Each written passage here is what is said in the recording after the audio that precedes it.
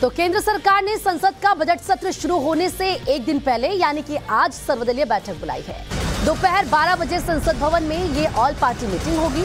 सदन को सुचारू ढंग से चलाने पर इस बैठक में चर्चा की जाएगी।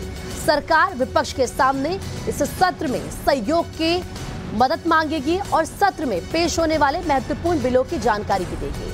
ये बैठक संसदीय कार्य मंत्री प्रहलाद जोशी की तरफ़ से बुलाई गई है। आपको ये जानकारी दे दें कि कल से, यानी कि 31 जनवरी से संसद का बजट सत्र शुरू होने वाला है।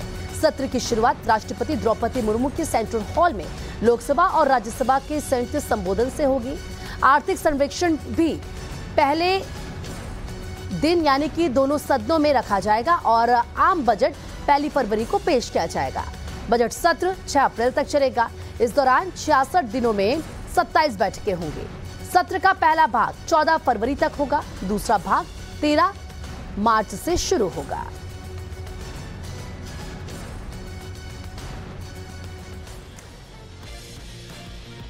और बजट सत्र से जुड़ी इस वक्त एक बड़ी खबर आपको बता दें, संसद भवन में आज होने वाली ऑल पार्टी मीटिंग के बाद एक और बड़ी बैठक होगी, और ये बैठक होगी एनडीए की, जो संसद भवन में ही दोपहर ढाई बजे होगी। बताया जा रहा है कि इस बैठक में बजट सत्र में बिल की जानकारी और संसद में नई रणनीति को लेकर चर्चा की जानी है।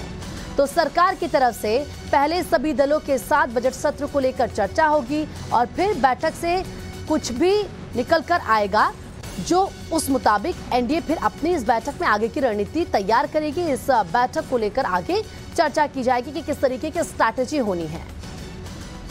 तो ऑल पार्टी मीटिंग होनी है पहले, दोपहर 12 बजे और फिर साढ़े बारह बजे का समय है। इस ऑल पार्टी मीटिंग के बाद एनडीए की मीटिंग होनी है, एनडीए की बैठक होनी है।